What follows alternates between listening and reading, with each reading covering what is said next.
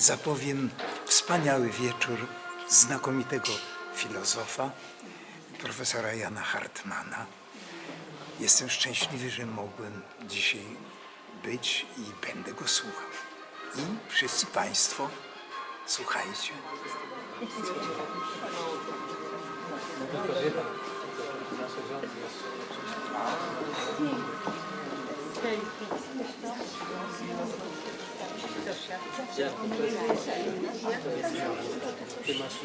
Nawet nie wiem. Możecie trochę skręcić to, to światło, Tak, tak. trochę mi raziło. Kąt zmienić. Jeszcze? Jest okej, teraz jest. Tak. Proszę Państwa, za oknem, za oknem zmierzch, ale my nie będziemy mówić o filozofii zmierzchu, tylko o zmierzchu filozofii. Witam Państwa serdecznie na spotkaniu z wybitnym polskim filozofem, profesorem Janem Hartmanem. Profesor Hartman jest dobrze znany szerokiej publiczności, przede wszystkim dzięki działalności publicystycznej, nierzadko okraszonej kontrowersyjnymi wypowiedziami. Ale okazją do dzisiejszego spotkania jest jego najnowsza książka pod frapującym tytułem Zmierzch filozofii. Pięknie wydana yy, nakładem wydawnictwa Austeria. I już sam tytuł jest przyciągający i budzi wiele skojarzeń. Yy, mieliśmy, w ogóle żyjemy chyba w takich czasach zmierzchu, od jakiegoś czasu przynajmniej. Mieliśmy trylogię Zmierzch, jeszcze wcześniej mieliśmy Zmierzch Bogów, e, Zmierzch, Zmierzch wzrostu klubu rzymskiego, e, mieliśmy Zmierzch średniowiecza, a teraz dołącza jeszcze Zmierzch filozofii. Jest z nami, oprócz profesora Hartmana, jest z nami jeszcze Włodzimierz Perez, wybitny aktor i scenarzysta. Przypomnę Państwu tylko hasłowo takie tytuły jak Czterej Pancerni i Pies, Kariera Nikosia Dyzmy, Co mi zrobisz, jak mnie złapiesz? Zanim, zanim zaczniemy rozmowę o książce, chciałbym wprowadzić Państwa w nastrój, w odpowiedni nastrój i poproszę Pana Włodzimierza Persa, żeby przeczytał odpowiedni fragment książki. Wszystko, co stworzone przez człowieka, ma swój kres. Filozofia również. Zestarzała się i pora jej odejść. Dziś ważne jest, aby skończyć świadomie i z godnością, bo tak przystoi filozofom. Zaklinanie rzeczywistości i udawanie, że nic się nie dzieje, jest łatwe i często uchodzi za substytut mądrości, jak każdy chyba odruch konserwatyzmu.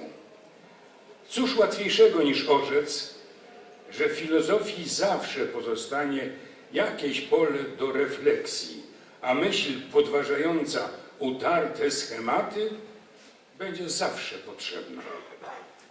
Tego rodzaju uwagi świadczą o bezradności i naiwności konserwatywnego umysłu, łudzącego się, że przyszłość musi być z grubsza podobna do teraźniejszości. Kartezjusz upierał się, że zwierzęta pozornie tylko przejawiają inteligencję i uczucia, gdyż tak naprawdę są mechanizmami. Nie było to mądre, lecz łatwe i pociągające swym bezkompromisowym dogmatyzmem mogącym uchodzić za przejaw iście filozoficznej dyscypliny i konsekwencji. Dziś nie brakuje kartezjuszy zapewniających, że sztuczna inteligencja to tylko programy komputerowe wykonujące polecenia programisty i działające przewidywalny sposób. Twierdzenie, że filozofia ma się dobrze i będzie istniała tak długo, jak tylko istnieć będzie myśląca ludzkość, należy do tej samej kategorii naiwnie konserwatywnych zaklęć. Autor nie powinien mieć przed, czytelnikami tajemnic. Lepsza jest otwartość niż ukrywanie się autora za maskami i prowadzenie tych, którzy chcą poświęcić swój czas i uwagę czytaniu książki tylko jemu znanymi ścieżkami ku nieznanemu czytelnikom celowi. Takie postępowanie w naszych czasach słusznie uchodzi za nieuczciwe. Nazbyt wiele było już bowiem w dziejach filozofii napuszonego pustosłowia, pyszniącego się wielkimi projektami, a w końcu nie spełniającego żadnej z danych obietnic. Otwartość i rzeczowość słusznie więc stały się dziś obowiązkiem każdego, kto publicznie oferuje coś innym. Dziękuję. Klasny pan, niesamowity. Mocne, mocne uderzenie. E, e, Ja odniosłem takie wrażenie, że, jak, że dramaturgia tej książki ma taką konstrukcję jak powieść kryminalna. Najpierw mamy, na samym początku mamy denata, a później, a później szukamy sprawcy i motywu. O co tak właściwie chodzi z tym zmierzchem? Co cię tam uwiera w tej filozofii? Nic tam nie uwiera, wszystko mi się podoba. E, Przede wszystkim, drodzy Państwo, chciałem podziękować za e, tak liczne przybycie na spotkanie ze mną, e, na spotkanie z książką Zmierzch filozofii w taki no, dosyć słodny wieczór, jeszcze zimowy. Podziękować Panu za odczytanie pierwszego fragmentu, jak człowiek siebie słucha tak pięknie odczytanego i bez okularów, to mu się wydaje, że naprawdę jest mądry, ale to wie- większość tego przynależy tej właśnie intonacji. Jak sam siebie czytam, to to tak mądrze nie brzmi. E, Ale to jest pułapka, bo właściwie prawie wszystko można pięknie przeczytać i wtedy się wydaje mądrzejsze niż jest naprawdę. E, Więc jeszcze raz bardzo dziękuję. Natomiast e, e, dziękuję też za pytanie Krzysztofa, takie po, takie po prostu, najbardziej naturalne, o co chodzi z tym zmierzchem. Więc ja może powiem, o co nie chodzi. Na pewno nie chodzi o to, że ludzie przestaną filozofować. To w ogóle jest bez sensu. Się, zawsze będą sobie ludzie zadawać różne ambitne, ważne, fundamentalne, istotne pytania i nie to mam na myśli.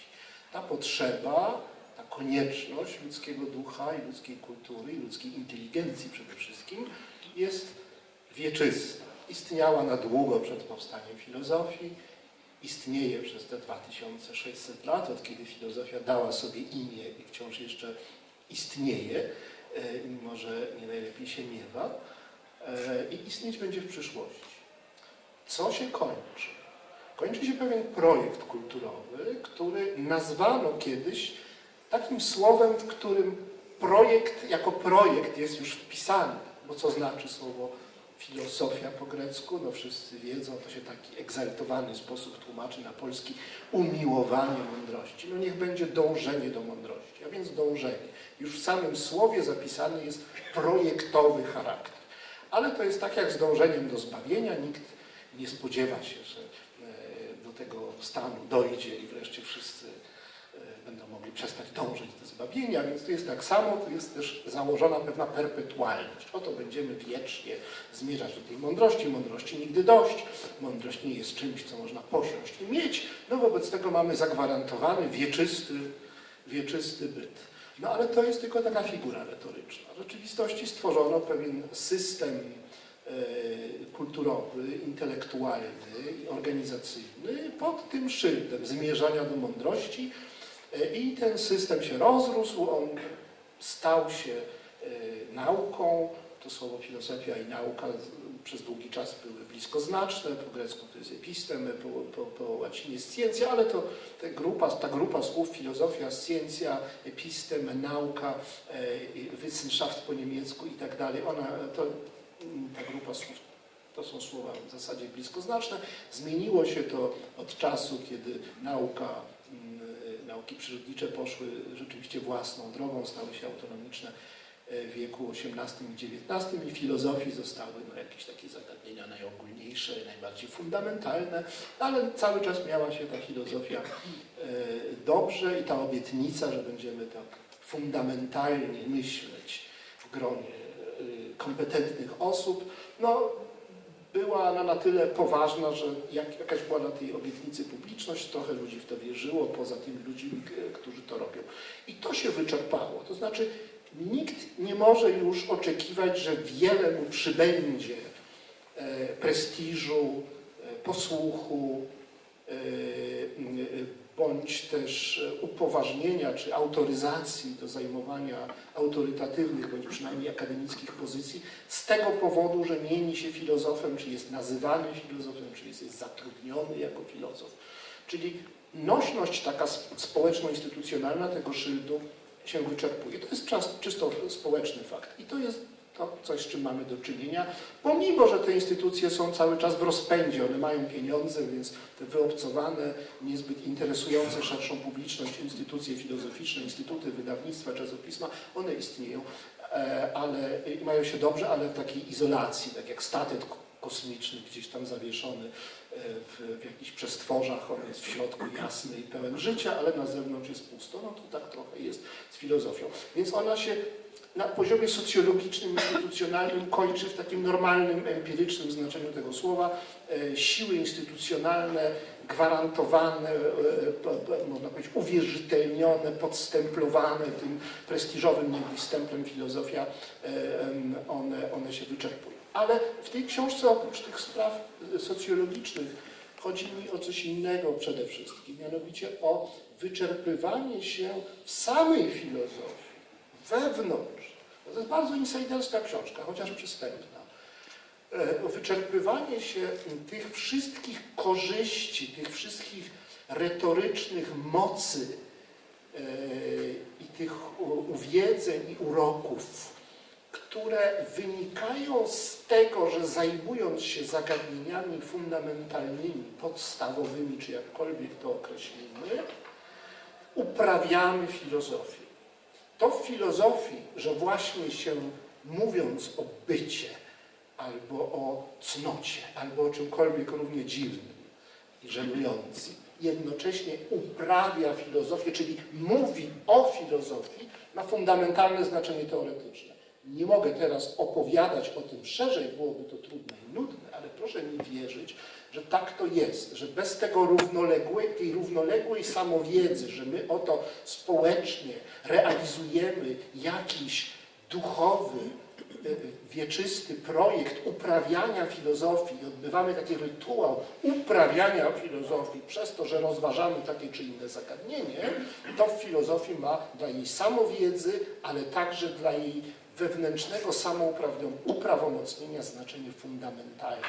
I ta książka pokazuje wiele takich przykładów, jak filozofia się, że tak powiem, e, dusi przez to, że już tych mocy retorycznych z, z faktu płynące, płynących, że oto właśnie poza tym, że zajmujemy się tym czy owym, to właśnie uprawiamy filozofię, jak filozofia no już wyczerpuje się, tracąc e, tę e, nośną retorycznie i teoretycznie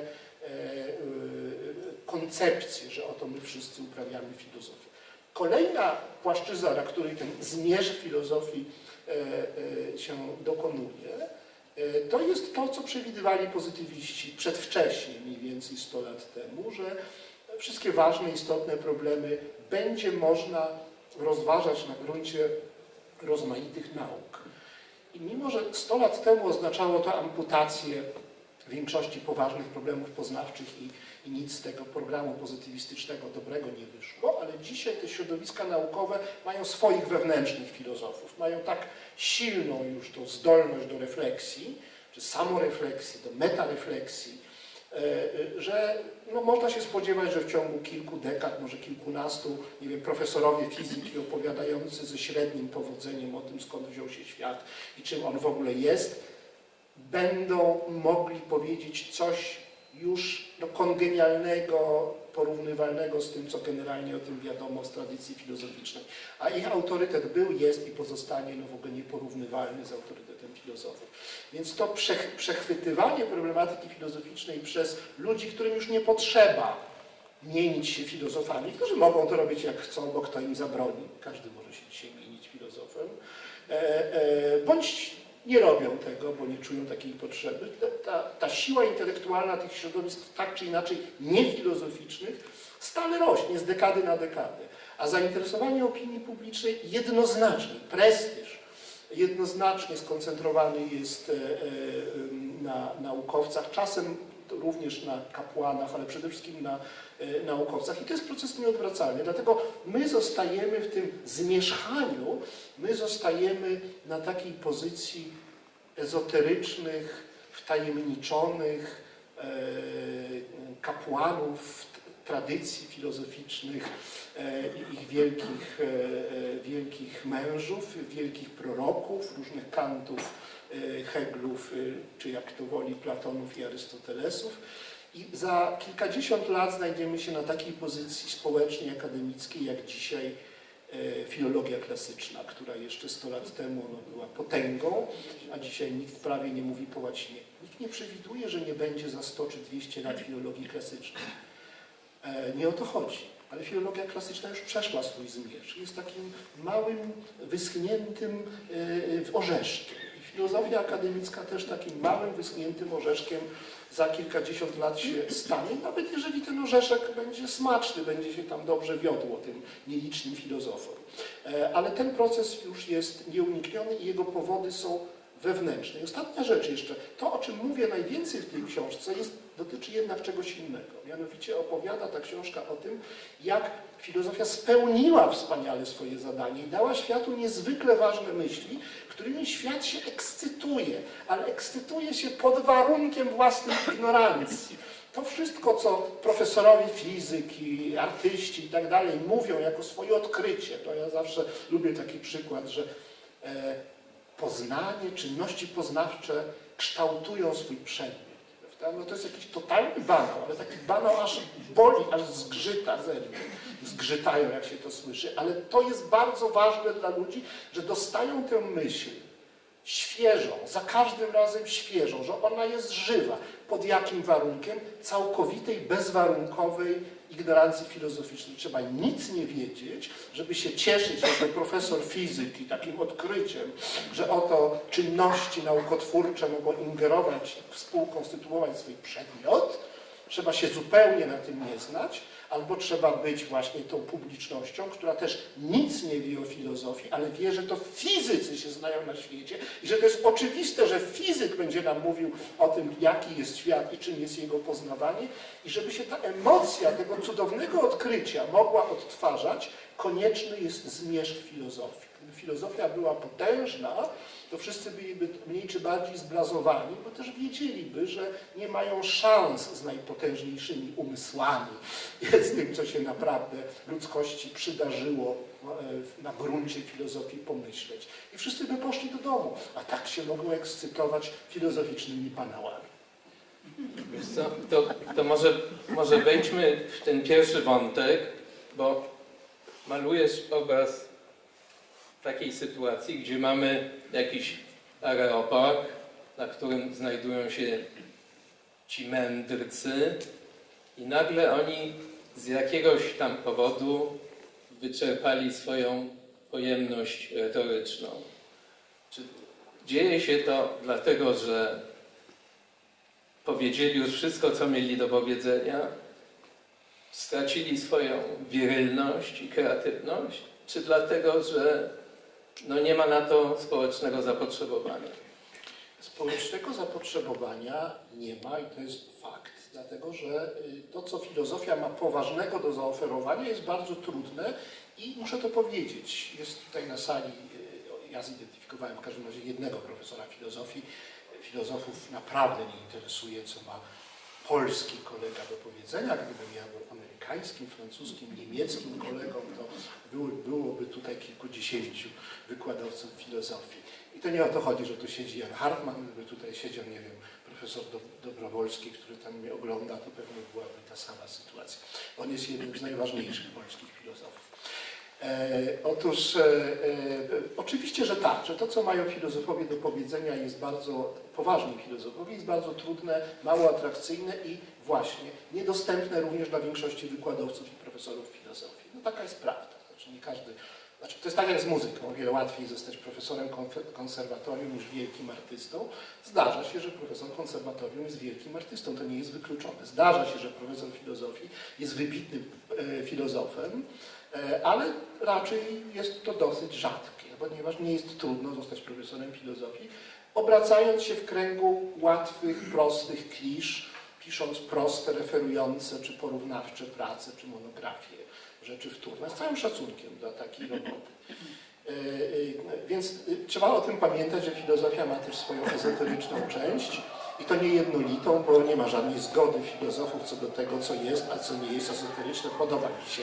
To, co się teraz tu wydarza, to jest, ja tutaj zrobię mały ko- e, e, outing. To jest pani e, Siemkowa, pani Eugenia Siemek, wdowa po największym polskim filozofie Wirginia Siemek zdoła po największym polskim e, filozofie lat 80. powiedzmy, czy 70., który był promotorem doktoratu Krzysztofa Zorda, który tutaj prowadzi ze mną łaskawie to, to spotkanie, a, a to co wybrzmiało, no to wiemy, że to jest z dziewiątej symfonii Beethovena. Otóż oczywiście e, pani, pani Siemkowa bardzo nie chce słyszeć o, o zmierzchu filozofii, bo była jest bardzo oddana idei e, filozofii, więc ja bynajmniej nie, nie twierdzę, że, że filozofia w tym znaczeniu dorobku wybitnych ludzi, wybitnych umysłów się skończyła, czy się skończy. Na, dla Siemka i na jego następców zawsze będzie miejsce.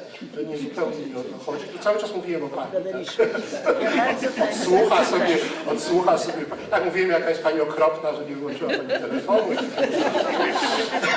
Swoją drogą właśnie się dowiedziałem, że archiwum profesora Siemka zostało przekazane, to właśnie mi e, e, pani Siemkowa powiedziała, przekazane e, Bibliotece Narodowej. Mam nadzieję, że Siemek się i do ulicy doczeka i wszystkiego, co mu się e, należy. Więc e, e, nie o to chodzi, że nie będzie, e, czy nie ma wielkich filozofów. O to chodzi, że publiczność, w tym również część profesorów czy wykładowców filozofii, e, zadowala się, bardzo się zadowala, prostymi myślami. Ja mogę Państwa zasypać kliszami filozoficznymi, które były niezwykle ważne w dziejach kultury, wywarły ogromny wpływ na ludzkość, bo filozofowie są potężni potężny był ich wpływ, ale potężny, bo wszystko, co myślimy, wszystko, co mamy w głowach, kiedyś wymyślili jacyś filozofowie. Każde słowo, tak zwane abstrakcyjne, łącznie ze słowem abstrakcyjny, pochodzi z jakiejś teorii filozoficznej. E, Tylko, że my mamy taką trochę sieczkę w głowie. Te idee funkcjonują w izolacji, niekrytycznie, płytko, czasem zniekształcone. E, I to wszystko, co filozofia dała światu, już no powiedzmy, ten skarbiec ludzkich umysłów wypełniło po brzegi. Ludzie już więcej nie przyjmą co najwyżej kolejne jakieś uproszczone klisze. Natomiast to e, ich źródło, ten matecznik idei filozoficznych, myśli, te ciężkie teksty, gdzie pojedyncze osoby w takiej literackiej, osobistej pracy wypracowują własny język, własne pojęcia, własne idee, koncepcje, argumenty, to wszystko jest całkowicie zamknięte w kapsule przeszłości. Filozofowie współcześni są co najwyżej kustoszami tego wszystkiego. Dzieje myśli to są dzieje nazwisk. Właśnie prowadzę teraz takie wykłady z filozofii żydowskiej w gminie, przede mną siedzi Teresa Śmiechowska, która mnie tam zaprosiła. E, e, To jest opowieść o filozofach, o osobach, o indywidualnych, personalnych projektach intelektualno-literackich. Więc to wszystko uległo już zupełnie, zupełnemu uhistorycznieniu. Nawet profesorowie filozofii nie wierzą, że filozofów można o coś zapytać w takim znaczeniu do- żeby się dowiedzieć czegoś, żeby swoje poznanie wzbogacić. Można ich zapytać o to, co jakiś wielki filozof w przeszłości miał do powiedzenia w jakiejś sprawie. To tak, ale na serio, e, żeby pytać ich o, jak, o świat, e, to nie bardzo. Zresztą słowo świat jest jednym z pierwszych terminów filozoficznych i mało kto w ogóle myśli o tym, że ktoś musiał wymyślić słowo świat na przykład, albo jakiekolwiek inne, e, tak zwane abstrakcyjne. E, Więc to się wszystko już e, skończyło, ludzie to dostali, filozofia spełniła swoje zadanie, ludzie potrzebują prostych idei, filozofowie ci najbardziej znani, popularni, medialni raczej tylko reprodukują proste idee, to wszystko się odbywa w, op- w elemencie rozsądku, jest takie heglowskie określenie, element, czyli żywioł, e, e, przestrzeń rozsądku, czyli takich prostych myśli, takich jak ta przed chwilą powiedziałem, poznanie konstytuuje swój przedmiot, że jest pracą, jest stosunkiem między przedmiotem i podmiotem, e, e, albo nie wiem, taka myśl jak na przykład, że żeby być wolnym, to trzeba mieć samokontrolę i wolny jest ten, kto się umie ograniczać. No takie cudowne, wspaniałe odkrycia i takich jest kilkaset, może, może mniej niż kilkaset i one są, będą. Nawet jeżeli dojdą trzy albo piętnaście i będą kursować dalej y, w szerokich, y, w szerokich kręgach społecznych, to to, to to nie potrzeba do tego filozofii. Ludzie nie będą musieli się uczyć filozofii, żeby te myśli do nich dotarły. E, A mówię, mądrzy ludzie, myślący ludzie, de facto filozofowie są teraz wszędzie. Niekoniecznie muszą używać tego samookreślenia, tej samoidentyfikacji, co prowadzi to środowisko filozoficzne do bardzo daleko idącego wyobcowania. Ja mam wielkie pretensje do filozofów, naprawdę do filozofów, że pozwalają sobie, słysząc o końcu filozofii, o zmierzchu filozofii, odpowiadać na to takimi żenującymi, haniebnymi kliszami, niegodnymi filozofa w rodzaju już wielokrotnie wieszczono kres filozofii. Bzdura nie wieszczono wielokrotnie, ten, ten, ten zwrot się pojawia okazjonalnie kilka razy i to w takich kontekstach retorycznych. To jest pierwsza książka w historii, przynajmniej ja nie, nie, nie, znalazłem niczego, który jest poważnie, systematycznie i teoretycznie bada zagadnienie teleologii filozoficznej, tej kresowości. E, To się nie zdarzyło. Tak- To jest, haniebna klisza, nie wolno tak mówić. Tak samo odpowiadanie na tak poważne kwestie, na samowiedzy teoretycznej filozofii, jak to, że moce retoryczne i teoretyczne związane z po- pojęciem filozofii, sposobem jego wykorzystywania, używania w dyskursach filozoficznych, że one się wyczerpują, że zostały zużyte w taki czy inny sposób, ta semantyka e, e, wokół pojęcia filozofii się wyemancypowała e, i, i e, utraciliśmy nad nią kontrolę i ona uległa awarii, z, autodestrukcji e, czy wyczerpaniu.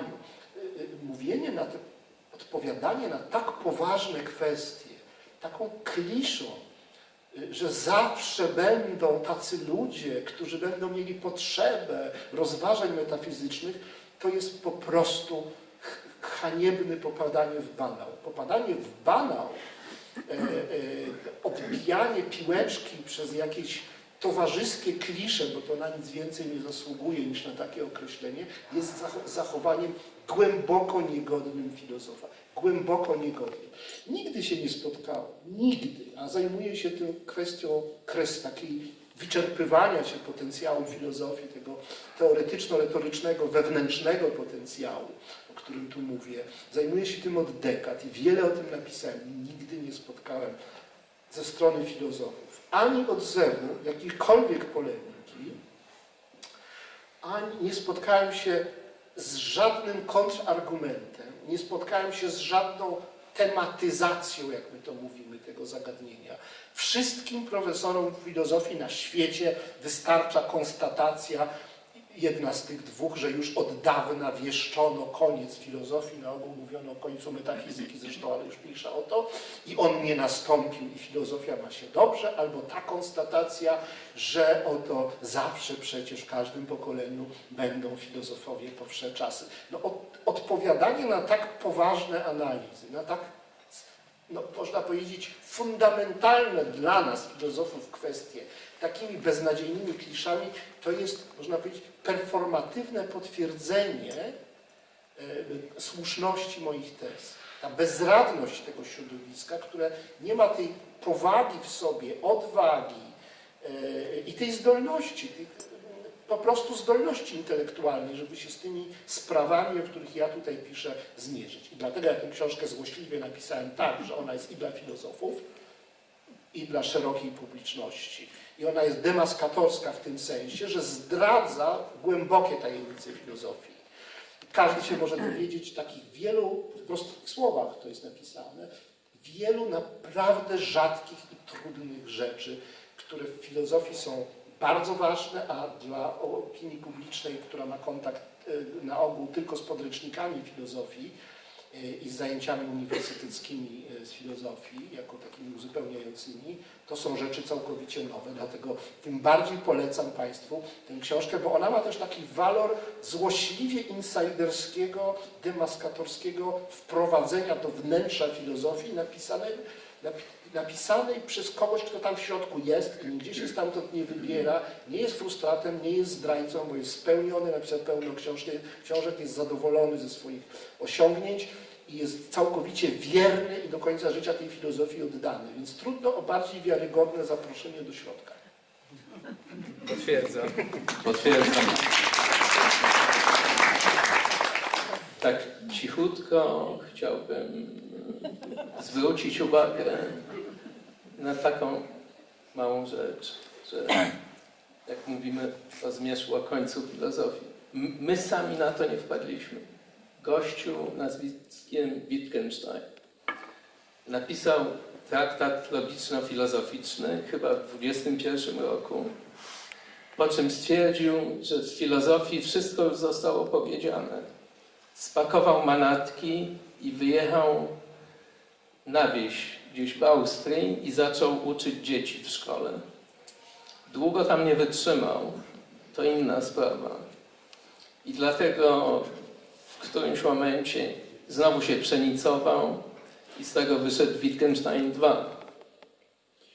No właśnie, jest taka kategoria książek filozoficznych, które są ostatnie i pokrewna kategoria książek, które są pierwsze na nowej drodze filozoficznego życia. Znaczy, są tacy filozofowie, którzy e, w jakiejś paroksyzmie narcyzmu wyobrażali sobie, że oto teraz dokonują przełomu i wszyscy inni będą tańczyć tak, jak oni im zagrają, czyli będą wykonywać taką już, można powiedzieć, rutynową robotę, taką szczegularską robotę w ramach projektu poznawczego, który oni tutaj oto zarysowali. Takim filozofem był Arystoteles, takim filozofem był Kartezjusz, takim filozofem był Edmund Husserl e, i to jest jeszcze trochę, w tym jest jeszcze coś zdrowego. No bo przynajmniej ja jestem tym dyrygentem, prawda, stworzyłem fenomenologię, żadna inna filozofia nie ma sensu, wszyscy będziecie fenomenologami, będziecie patrzeć jak to się dzieje, y, że dochodzimy do pewnych tez na gruncie pewnego rodzaju doświadczenia, obserwując to, co mamy w głowie i to, co się nam tutaj prezentuje, tak jak się prezentuje, a nie inaczej. No i ty będziesz o tym, ty tamtym. Tak samo było Arystotelesa, prawda? Świat to jest zbiór przedmiotów, te przedmioty, każdy z tych zbiorów przedmiotów charakteryzuje się swoją odrębną istotą czy naturą, naturą rzeczy. No w związku z tym e, zrobimy e, e, specjalistów od tych species, od tych rodzajów i gatunków. Ty będziesz od na przykład żab, a ty będziesz od gwiazd, a ty będziesz od rzek, a ty będziesz od nie wiem czego konstytucji greckich polis i pewnego dnia się wszyscy zbierzemy i damy obraz świata, bo każdy powie, jaka jest natura tej rzeczy, którą się zajmuje. Czyli każdemu zadał robotę. No więc to jest jeszcze w miarę zdrowe, ale są też tacy filozofowie, którzy myślą, że napisali ostatnią książkę i że już gaszą światło, bo po takim geniuszu jak oni to już naprawdę nic nie można zrobić, tylko milczeć w podziwie. No i takim trochę chorym z narcyzmu, rzeczywiście zaburzonym filozofem był ten, e, ten e, wczesny Wittgenstein, e, ale usprawiedliwia go to, że mm, on był proponentem i pionierem takiego pomysłu, że można uratować filozofię przez kasację. To znaczy skasujemy filozofię, tak jak się czasem republiki kasuje. Prawda? No była jedna republika, e, ale była rewolucja, to teraz zaczynamy od zera. No więc skasujemy tą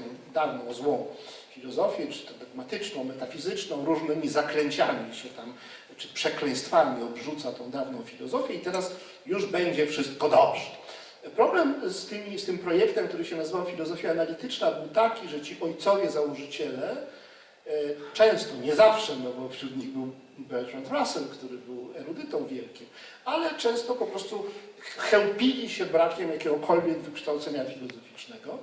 e, i pogardą dla dotychczasowej filozofii, co zresztą publiczność kupiła i część tego, no, można powiedzieć, uszczerbku znacznego na prestiżu filozofii w ciągu wieku XX jest po prostu rezonansem takiej retoryki antyfilozoficznej wśród samych filozofów, bo to chodziło o to, że jak e, e, zdezawuujemy i potępimy tradycję, ale teraz zadeklarujemy, że będziemy robić to grzecznie, lojalnie wobec państwa, nauk przyrodniczych i czego tam jeszcze, tylko dajcie nam posady, będziemy, nie wiem, wspierać naukę naszą refleksją, syntezą albo metodologią nauk, ale tylko zostawcie nam profe- posady profesorów filozofii, no to no to, to działało jakoś.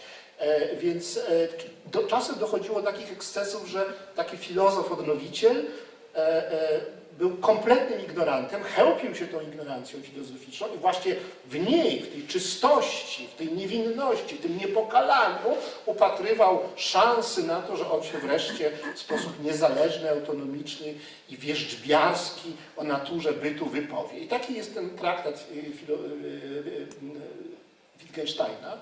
e, Logico Philosophicus, on się tak po łacinie nazywa, y, no to w ogóle to, to ma ogromną, ogromne znaczenie kulturowe ta książka, właśnie pokazując, jak można zawłaszczyć osłabiony, porzucony, zostawiony na ulicy projekt kulturowy, jakim jest w tym wypadku filozofia, i zrobić z tym, co się chce.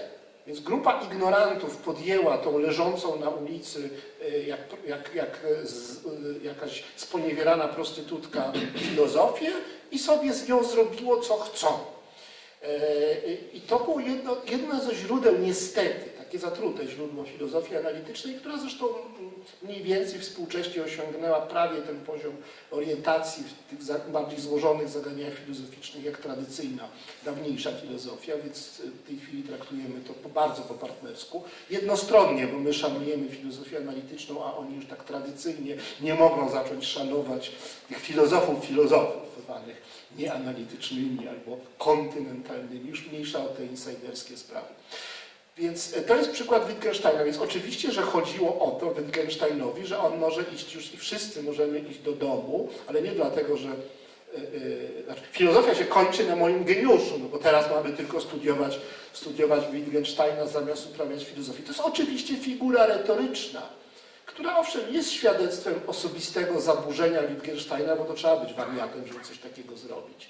E, No ale proszę bardzo, filo, dzieje filozofii to są dzieje literatury, to są indywidualne, osobiste projekty różnych filozofów, którzy wymyślali swoje języki, swoje, e, zostawiali piętno swojego geniuszu, swojej osobowości na, e, na dziejach kultury. I w ten sposób to traktujemy. I Wittgenstein wielkim człowiekiem był, bo był figurą, bo był postacią, bo był jakiś, mimo że no, główne myśli traktatu, e, który skonstruowany jest jak e, dzieło matematyczne związane z twierdzeń i e, jakichś podtwierdzeń i tego się czytać nie da, no to te główne myśli są, powiedzmy sobie tak delikatnie mówiąc, niezbyt oryginalne, prawda, że tam nie wiem, że e, świat to są rzeczy, które mają cechy, a za to zdania też mówią o cechach rzeczy i myśli też taką mają strukturę i w ogóle być czymś i mieć cechę to jest alfa i omega wszystkiego. No umówmy się, że nie jest to bardzo odkrywcze. E, e, Natomiast sama forma tego, postać tego Wittgensteina, to wszystko jest fantastyczne, także z całym szacunkiem, ale należy traktować takie postacie w podobnych kategoriach jak postacie twórców, wielkich twórców literatury. Trochę mi się zrobiło przykro, że zjechałeś tak tego Wittgensteina. Ale zawsze do usług, jeśli o to chodzi. To nie znaczy, że z nim się całkowicie zgadzam. Nie zgadzam się na przykład z tym, że z tym jego powiedzeniem, że o czym nie można mówić, o tym trzeba To milczeć. jest bo skrajnie to- antyfilozoficzne to- powiedzenie, to jest jakiś bo to absurd. mocno ogranicza przestrzeń badawczą. Natomiast y, parafrazując, mam ochotę zaproponować y, bon mot profesora Hartmana, o czym nie można mówić, o tym nie można milczeć. No właśnie, to jest, to jest jedno z podstawowych zadań filozofii, poszerzać język. Takie doświadczenie, że napotykamy na coś, o czym nie możemy nic powiedzieć, bo na przykład ma taką metawłasność, że właśnie nie można o tym nic powiedzieć, ponieważ nie ma żadnych własności. No, absolut ma tak, że jest poza i ponad wszelkimi własnościami, więc nie możemy o nim nic mówić, ale na przykład ja teraz mówię, więc poruszam się w przestrzeni pewnych metawłasności, ale one też mogą zostać zanegowane. Ojej, to do czego to wszystko zmierza? A do milczenia. A jakiego? A szlachetnego, poinformowanego milczenia. To jest klasyczny dyskurs filozoficzny e, zrodzony, ojej, przepraszam bardzo, ale półtora tysiąca lat temu albo wcześniej. Ale tradycyjnie przypisujemy ją niejakiemu Dionizemu e, Areopagicie, nie mylić z Aeropagitą, bo to z- z mora mylić Areo z Aero. E, y, Więc, e, e, drodzy Państwo, rzeczywiście no, tak jest, tylko że ja myślę, że gdyby tutaj odżył Dionizy, albo inny jakiś metafizyk antyczny i zobaczył, jak ja to sobie tym, dyskursem absolutu żongluję, jakieś metadyskursy, metapredykaty, jakieś takie metafilozoficzne subanalizy e, e, e, wtrącone do prostego takiego dyskursu poczciwego, który mówi o tym absolucie, który jest ponad, poza wszystkim i nic o nim nie można powiedzieć, no by on nie miał zachwytu. Dlaczego? No bo jednak przeszliśmy pewną drogę od takiego prostego, prymitywnego stwierdzenia, że jak oglądam absolut, to milczę, bo to jest niewymowne, do jednak powiedzenia paru ważnych rzeczy o tym, co można i w jakim mierze, i w jakim sensie, i, e, pod jakimi względami o tym, że absolucie e, orzec. Jest mnóstwo bardzo ważnych rzeczy, które na gruncie tego doświadczenia niewyrażalności, niewysławialności powiedzieliśmy. E, Ja, te sprawy są zresztą no, arcymetafizyczne, e, e, niesłychanie mi bliskie. Więc jeżeli ktoś zaczyna swoją przygodę z filozofią od stwierdzenia b- będącego jakby parodią banału, że jak się nie da o czymś powiedzieć, to e, e, należy o tym milczeć. Jak na szklaną górę nie da się wejść, to nie należy się na nią wdrapywać, prawda? Jak, e, e, nie wiem, e, dwóch chłopów nie może mieć dzieci, to nie powinni ich robić. No to są takie no, no możesz, proszę bardzo, ale zachowaj dla siebie te mądrości. No nie, oczywiście w filozofii chodzi o coś dokładnie odwrotnego. No to chodzi, żeby, o to, żeby powiedzieć więcej niż na razie potrafimy. E, A milczenie naprawdę nie jest cnotą u filozofów. To jest cnota mędrca, który lepiej wypada, jak jest bardziej taki milkliwy. Jak ja bym chciał, żebyście Państwo mówili na mieście, że jestem bardzo mądry, to bym znacznie mniej słów używał i mówił rzeczy takie bardziej oczekiwane, tchnące takim umiarem, z nutą tajemnicy i tak dalej. Wiadomo, jak się to robi. E, Natomiast no, absolutnie filozof nie chce, nie chce być taki mądry. Nie, nie, to nie jest, jego, nie, jest, tak- nie jest jego rola. Ale y, jedną z funkcji filozofii jest poszerzanie języka, poszerzanie dostępnego instrumentarium e, pojęciowego. I to jest taka bardzo trzeźwa robota, bardzo, bardzo y, y, nieprestiżowa, bo to ludzi, no, w ludziach nie wywołuje takiego wrażenia ogromnej mądrości, prestiżu. I, I tym się zajmujemy. Więc Wittgenstein, e, z czego jest znany Wittgenstein? Jak każdy autor, z jakichś bonmotów. A dlaczego bonmoty się upowszechniają? Bo jest w nich jakaś prostota i taka zamyślność, zadumciwość, że tak można zatrzymać się przy tej myśli i nie iść dalej i napawać się, tak naslaźniać się tym, że, że już nie muszę nic więcej myśleć. A to wystarczy czasem tak pstryk. Ale panie Wittgenstein, ale o co panu chodzi? Niech pan poda przykład, może jednak pogadamy o tym, o czym nie można mówić. Może pan nie może, ja mogę. No więc może się trzeba czegoś nauczyć, prawda? E, e, e, Więc, więc z całym szacunkiem dla jego e, niewątpliwych talentów, był matematykiem, z wykształcenia i tak dalej, i tak. Więc e, filozofia jest przy tym wszystkim jeszcze dosyć prozaiczna, nieefek, nieefektowna. Bo poważny filozof się bardzo różni od takiego chwiejącego się, bu- buczącego i drapiącego się po głowie mędrca. Yy, I to jest mało prestiżowe. Ludzie potrzebują mądrości, ludzie potrzebują pocieszenia, potrzebują prostych idei, wzniosłych idei, narcystycznych idei, przy których się lepiej poczują. E, Filozofia dostarcza ich dużo i w coraz to nowych odsłonach, w nowych tekstach i to jest możliwe. No ale to, co się naprawdę dzieje w filozofii na poważnie, no to takie nie jest. No, jakby ktoś chciał e, e, przeczytać wykłady profesora Siemka na przykład, opublikowane w dwóch tomach, głównie o wieku XVIII i XIX filozofii niemieckiej, to będzie mógł zobaczyć jak na dłoni, jak tam nad tą warstwą takich rzeczy prostych i przyjemnych, budujących e, jest jeszcze taka warstwa poważnych, trudnych, nieefektownych i nie dających takiej bezpośredniej gratyfikacji psychologicznej myśli. Myślę, że w języku polskim niewiele jest zaawansowanych wprowadzeń do filozofii na tym poziomie i tak przystępnych, i fajnych, i autentycznych właśnie jak to dwutomowe wydanie pana profesora. Może damy Państwu chwilę odetchnąć i poproszę Włodka Presa, żeby przeczytał następny fragment. Traf chciał, że filozofia jest rodzaju żeńskiego, w czym kryje się nieodparta pokusa. Jej personifikacja musi być kobietą. Podobnie jak personifikacja prawdy. Prawda jest kobietą, głosi jeden z tych zgranych cytatów z niczego. A skoro jest kobietą, to zgodnie z patriarchalną normą trzeba ją czcić i jej pożądać. Nie można jej mieć na wyłączność. Kiedy Boecjusz, siedząc w więzieniu, robił, roił sobie, że rozmawia z panią filozofią, przemawiała ona do niego czule pouczając go w sprawach wolności i wszechmocy Boga, a nawet śpiewając mu nabożne piosenki.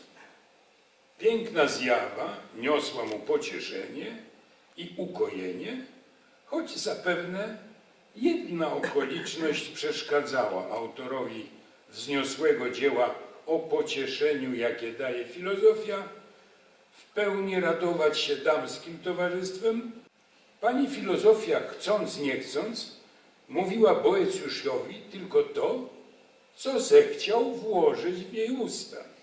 Ot, męskie fantazje. Podobnych tekstów zalecających zamianę seksu na uprawianie filozofii, a może raczej teologii, tradycja zna wiele, a ślady tej fobii seksualnej znaleźć można jeszcze w pismach Kanta. Niedorzeczność tego rodzaju sformułowań nigdy też nie doczekała się jednoznacznej oceny. Tak jak gdyby ktoś wierzył, że Boecjusz czy jacyś inni filozofowie faktycznie nie chcieli seksu, aby tylko nie tracić czasu, który mogliby poświęcić na przemyślenie po raz tysięczny niezrównanych przymiotów Boga.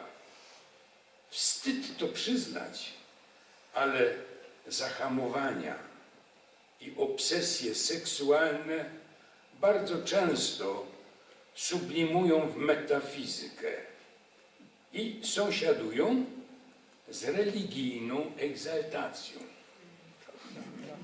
No więc właśnie,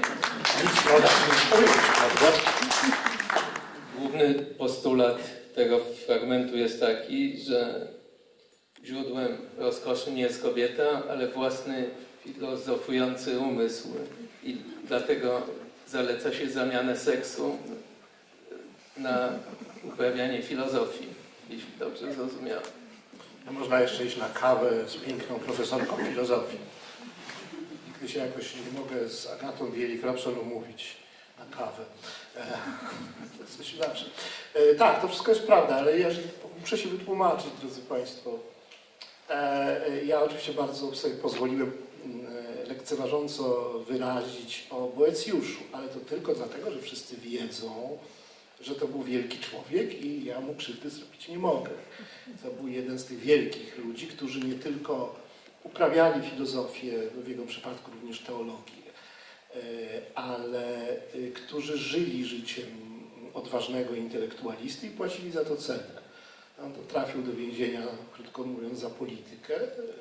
Jesteśmy już w VI wieku, w czasach tych barbarzyńskich nowych królestw powstałych po rozpadzie e, Cesarstwa Rzymskiego e, w niebezpiecznych, trudnych, okropnych czasach. E, Boecjusz jest, tak jak Sokrates, jedną z ofiar takiej działalności publicznej, działalności intelektualnej szlachetnym, mądrym człowiekiem, więc, ale rzeczywiście no, ta, jego, ta jego opowiastka o tej personifikacji filozofii i te zapewnienia, że e, naprawdę należy się wyzbyć uciech cielesnych, bo szkoda na nie czasu, skoro e, wciąż trzeba myśleć o Bogu, to jest, to jest dziecinne bardzo i oczywiście odzwierciedla pewien ciężki, poważny kompleks, jaki, jaki wielu autorów, wielu intelektualistów, nie tylko filozofów ma, tradycja ascetyczna i taka psycho, e, psychoanalityczna problematyka ascezy jest czymś niesłychanie ważnym w dziejach intelektualnych ludzkości. Zresztą to zostało, znowu to użyję tego słowa, stematyzowane bardzo dobrze e, w tradycji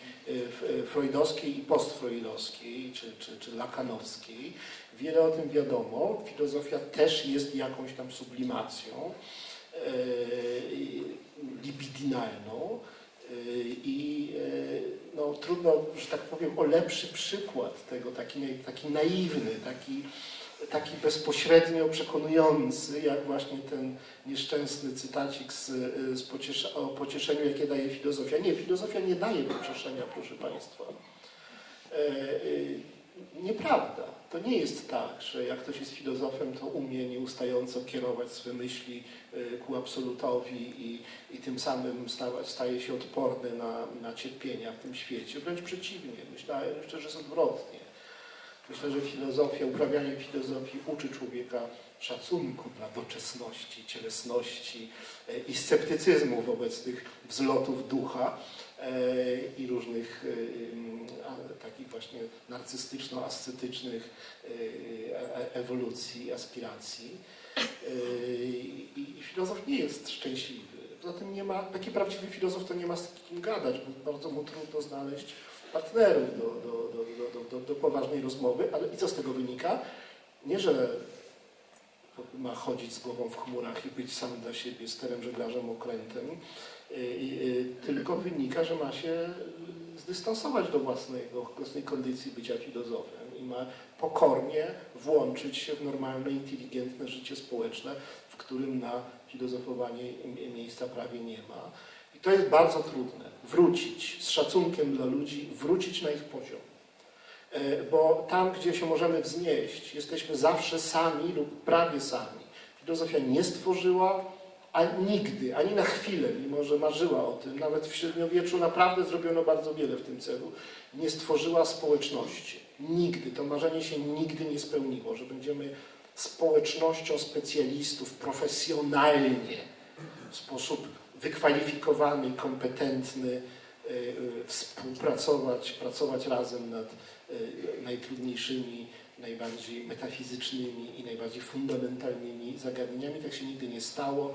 Ostatecznie filozofia stała się kolekcją lepszych lub gorszych dzieł indywidualnych, osobistych projektów i to kolektywne marzenie, czy marzenie o kolektywności się nigdy nie, nie spełniło. I filozof jest zawsze trochę osobny, każdy filozof jest trochę w więzieniu. Jest w więzieniu własnej inteligencji, własnej nadświadomości, własnego narcyzmu. Jest źle wyobcowany, marząc o tym, żeby być wyobcowanym dobrze, pozytywnie, wyobcowanym ku temu, co wyższe. Ale to platońskie marzenie się nigdy nie spełnia i zawsze trzeba ostatecznie zejść, zejść na ziemię, zejść do ludzi, posypać głowę popiołem i- stać się na powrót zwykłym e, e, człowiekiem, a to zawsze oznacza zdradę filozofii. Mi się, mi się wydaje, że główny, główny problem filozofii polega na tym, że się nie da jej zmonetyzować. E, To zależy o jakich pieniądzach mówimy. ale to co, się, to, co wyskoczyło jako jedno z ostatnich z pnia filozofii, to była psychologia. I psychologia się znakomicie zmonetyzowała.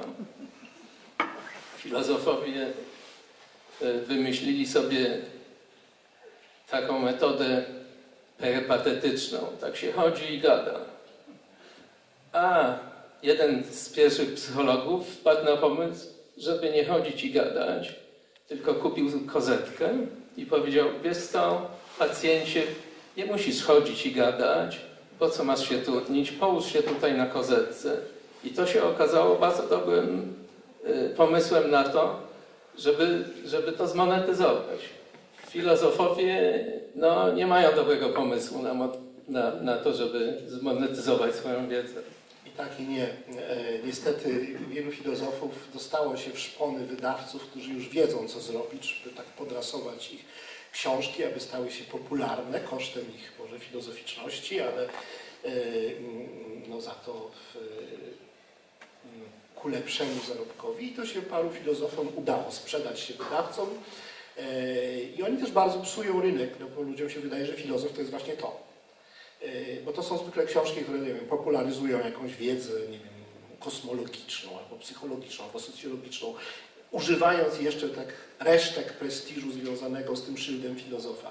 Oczywiście jak y, y, fizyk czy lekarz napisze książkę popularną e, e, i użyje tego szyldu filozofia albo i nie, to i tak sprzeda wielokrotnie więcej egzemplarzy niż y, gdy zrobi to profesor filozofii. To w ogóle nie ma o czym mówić. A- Ale zawsze ten filozof jeszcze parę tysięcy za, czasem zarobić może. Ale jeśli chodzi o duże pieniądze, to rzeczywiście nie. Myślę, że Żyżek, najbardziej znany filozof, e, taki celebryta, w sumie nieźle zarabia. Nie sądzę, żeby e, e, za spotkanie on poniżej 1000 euro schodził. Dla niektórych to dużo, dla niektórych mało. Ja tu jestem e, e, nie tylko całkiem za darmo, ale zdradzę Państwu, że chciałem Państwa poczęstować winem, ale okazało się to z własnych środków, ale okazało się to technicznie czy organizacyjnie niemożliwe. Ale czujcie się e, poczęstowani. Coś, coś, coś w tym musi być, bo to mi przypomniało taką rozmowę, jaką miałem kiedyś e, z profesorem Augustynkiem, który był e, specem od ontologii. I zapytałem go, panie profesorze, jaką książkę do ontologii pan poleca? On oczywiście powiedział, moja, własna jest chyba najlepsza. Po czym Zasępił się głęboko, milczał przez chwilę i powiedział Kurczę, wszyscy na niej zarobili, tylko nie ja.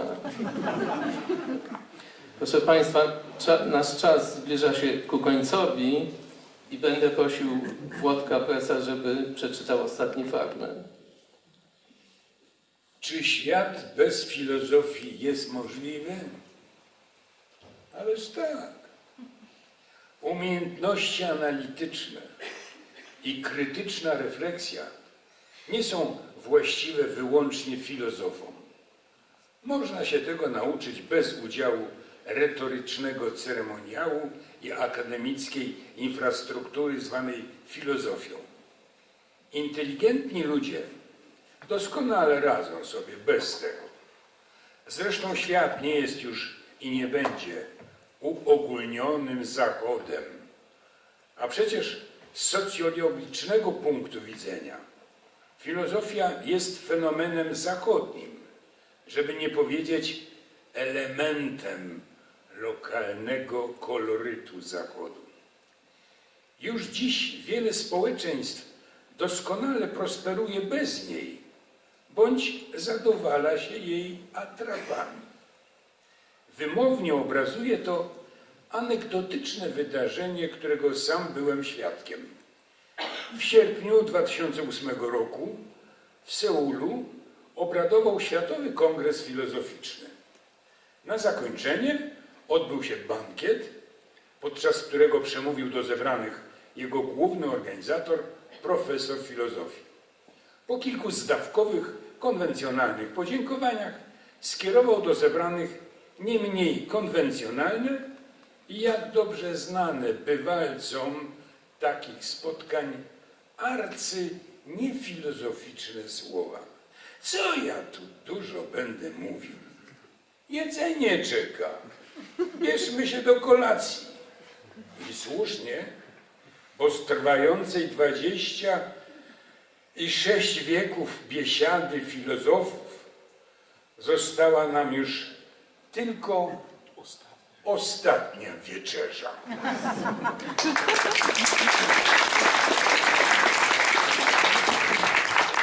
Teraz zapraszam Państwa do udziału w rozmowie. Jeśli macie ochotę, proszę o zadawanie pytań. Bardzo bym prosił, żeby to były krótkie pytania, nie długie elaboraty, bo mamy ograniczony czas. I, i bardzo chętnie, żeby się kończyły znakiem zapytania. Postaram się krótka, e, krótko. E, Panie profesorze, e, jest Pan człowiekiem bardzo odważnym. Naprawdę nie spotkałem chyba żadnego naukowca, profesora, który by w taki sposób zawodowy się obnażył, jak Pan właśnie. Dzisiaj, czy swoją książką. E, Jednocześnie jest Pan bardzo autentyczny i y, niesamowicie prawdziwy w tym, y, czego, y, co Pan powiedział. Y, Dziękuję bardzo. I y, wspomniał Pan jeszcze o tym, że po zmierzchu filozofii coś będzie, ale nie powiedział Pan co. Czy ta filozofia dalej się odrodzi?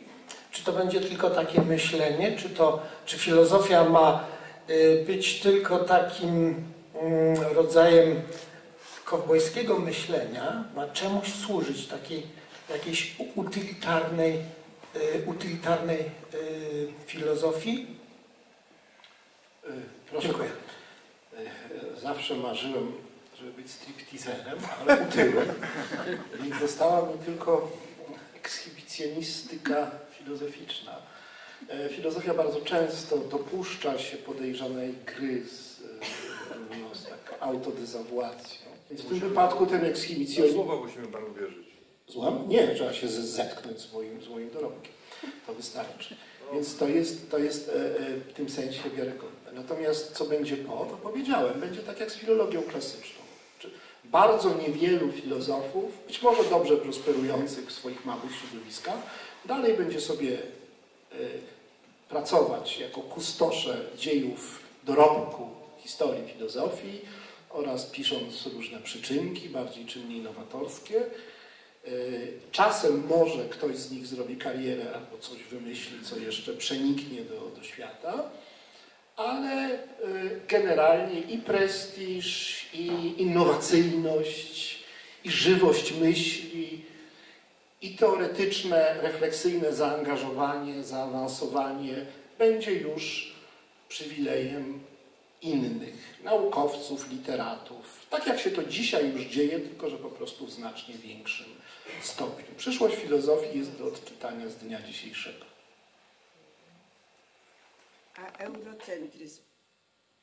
Ktoś z Państwa jeszcze ma ochotę zabrać głos? Ja, coś było powiedziane. Eurocentryzm. Eurocentryzm, takie hasło pani rzuca. Filozofia jest rzeczywiście skrajnie eurocentryczna i jak odkryła, że mniej więcej te same, ten sam zestaw myśli ludzkości właściwych jest do odtworzenia w Indiach, a może nawet również w Chinach, to się trochę źle z tym poczuła. No, założyła czasopisma w rodzaju West East Studies i już się pogodziła z tym, że tak może jest, E, ale faktem jest, że w sensie takim e, e, kulturowym, infrastrukturalnym, instytucjonalnym, e, empirycznym w szerokim sensie tego słowa jest to fenomen zachodni, który e, w innych częściach świata przyjął się tylko przez przeszczep, na przykład w Japonii.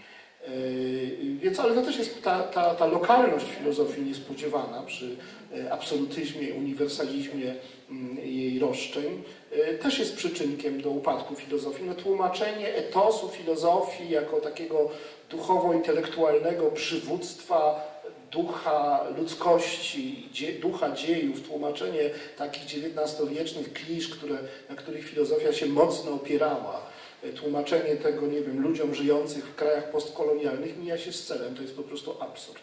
Ja sam się wybieram za kilka dni do Kenii e, i e, no, wyobrażam sobie, że wyjeżdżanie w Kenii z europejską filozofią byłoby no, wysokim stopniu e, nie, nie, nie, niestosowne. To było jakieś takie epatowanie, nie wiem, brytyjskością, europejskością czy czymkolwiek. Pewnie byłoby to tam bardzo źle widziane. Nie zamierzam na pytanie, czym się zajmuję, odpowiadać że jestem filozofem, bo to chyba nie będzie tam dobrze przyjęte. Wymyślę sobie jakiś inny zawód na te dwa tygodnie.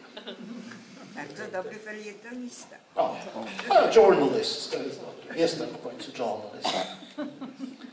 Y, Dwa krótkie pytania. Tak. E, Jesteś e, filozofem i jesteś e, publicystą, felietonistą polityki. Jak te dwie, jak te dwie sprawy e, się łączą? Czy to jest jedna, czy są dwie strony jednej, jednej, jednej, jednego, czy, czy, czy jest jakaś fundamentalna różnica? A drugie, jesteś jadowicie antyklerykalny. Jak? Czy twierdzisz, że Kościół i wiara to jest oszustwo pię- y, od, od, od, od niepamiętnych czasów? Tak, twierdzę, że oszustwo, twierdzę, że e, każdy urodził się z kobiety i mężczyzny bez żadnego wyjątku. Twierdzę, że każdy człowiek jest cięższy od wody i nie chodzi po wodzie. Twierdzę, że jak ktoś szczeźnie w grobie, to z tego grobu już nie wstanie. I jeszcze wiele innych tego rodzaju absolutnie niesłychanych i nieprawdopodobnych twierdzeń gotów jestem głosić. To tytułem odpowiedzi na drugie pytanie. Natomiast jeśli chodzi o pierwsze, to, to sprawa wygląda w ten sposób, że ja wielką ambicję, żeby używać swoich kolumn w polityce i, i w ogóle e, swojej publicystyki do propagowania mm, filozofii, ale to niekoniecznie się redaktorom podoba. I jak już tak pojadę z tą filozofią, to czasem któryś tam z naczelnych, to powiem Państwu w zaufanie, tam w, na zebraniu redakcji jednak coś tam stęknie, że to może niekoniecznie mógłbym się trochę powstrzymać, bo to nie ma zbyt wielu czytelników, więc muszę z tym uważać, ale oczywiście bardzo bym chciał, żeby moja publicystyka, która ma e, Państwo nie, nie, nie zdajecie sobie sprawy, na pewno nie, nie, nie, nie zgadlibyście, ile razy szerszy odbiór niż moje książki filozoficzne, ale powiem Państwu, tak? To jest mniej więcej 1 do 1000. 1 do 1000. Więc oczywiście bardzo bym chciał, żeby moje teksty publicystyczne, jak, jeśli to jest możliwe, miejscami, chwilami były nośnikiem treści filozoficznych, nawet czasem zaangażowanych. I mój trik polega na tym, że ja czasem mówię rzeczy bardzo no, takie trudne, zaawansowane filozoficznie, ale tak na luzie, że ludzie myślą, że no to tak normalnie filozofowie mają, takie rzeczy mówią. E, A wcale nie wiedzą, że dostają coś e, poważnego i zaawansowanego. A więc takie triki stosuję, ale generalnie publicystyka jest dla mnie szalenie ważna. Po pierwsze jako nośnik treści filozoficznych, a po drugie no, fajnie wiedzieć, że Cię czytają. Bo jak ja napiszę jakiś traktat filozoficzny i ktoś to wyda w 300 egzemplarzach, to ja wiem, że tego 300 osób nie przeczyta, nie jestem głupi. A jak wydam e, książkę, znaczy jakiś, napiszę jakiś felieton, czy jakiś tekst publicystyczny z ambicjami e, intelektualnymi, no to mogę czasem liczyć na 100 tysięcy czytelników i więcej. Ale piszę też książki takie lekko popularne, na przykład Głupie Pytania. To jest książka poważna, a jednocześnie lekka i tutaj miałem ponad 8 tysięcy sprzedaży, co uznaję za wynik no, dobry. Czuję się tak trochę nawet dumny z tego wyniku.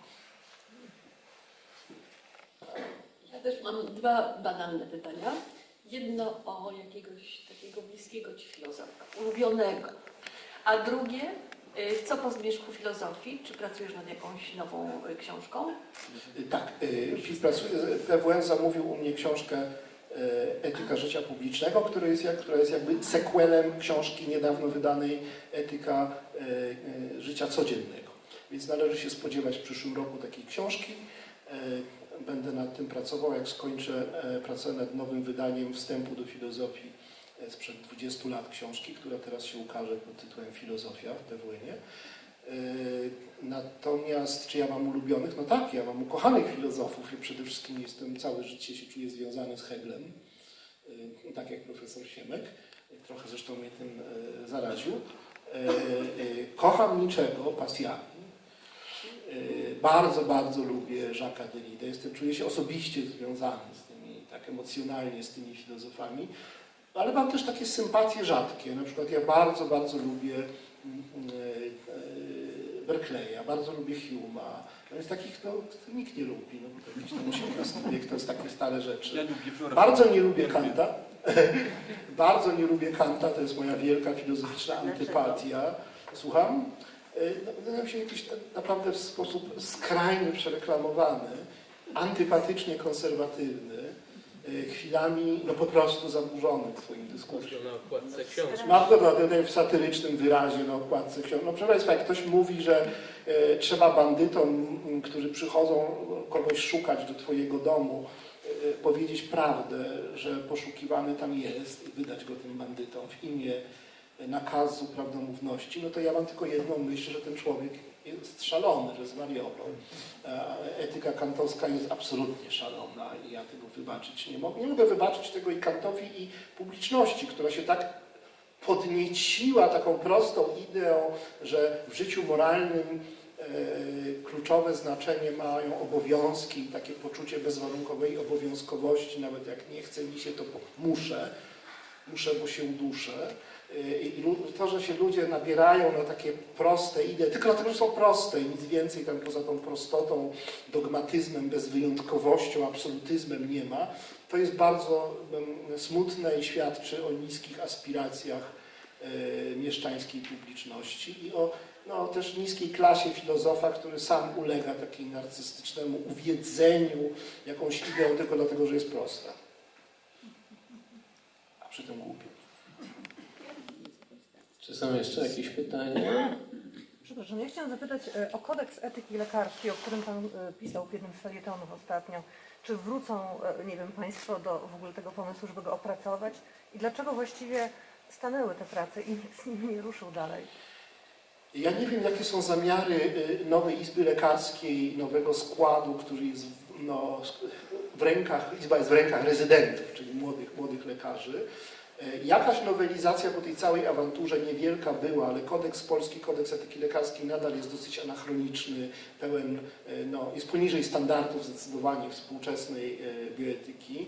E, Przede wszystkim zawiera wielokrotne napomnienie, żeby o sprawach, nadużyciach, sprawach nieprzyjemnych nie mówić nigdzie na forum publicznym, lecz załatwiać je w swoim gronie, co jest zdecydowanie wbrew no, współczesnym rozumieniu rozu, y, tego, czym jest uczciwa, transparentna, y, wiarygodna medycyna oparta na, na zaufaniu i, i nauce.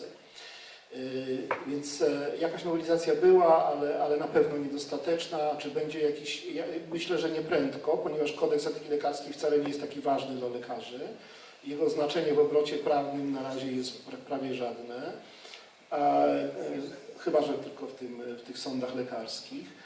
E, A poza tym no, ja zepsułem sprawę, dlatego że jak Hartman da, dał projekt nowego kodeksu etyki lekarskiej, ja sformułowałem taki projekt na, na, na prośbę Warszawskiej Izby Lekarskiej, e, jeszcze e, profesora Sawoni, Sawoniego, jeszcze świętej pamięci, jeszcze, jeszcze parę lat temu, no ale jak coś jest, wyszło spod ręki Hartmana, czyli z postulatem Hartmana, to już jest spalone na, na wejściu, bo ja mam naprawdę skrajnie złą opinię w Polsce, wśród lekarzy również. Przykre, szczerze. To były rozsądne postulaty, tak szczerze mówiąc. No tak, no ale ja wszystko to, to, to w zarodku skalałem, no bo akurat cieszę się złą opinią i tak pewnie pozostanie jeszcze przez jakiś czas, ale może się potem odwrócić, bo wiecie Państwo, jak to z tymi opiniami, raz na wozie, raz pod wozem. To ja miałbym jeszcze jedno e, pytanie, które nie pojawiło się tutaj, a które wybrzmiewa już także w tych pytaniach, które zaistniały. Ten zmierzch filozofii, on semantycznie już tutaj narzuca pewną asocjację.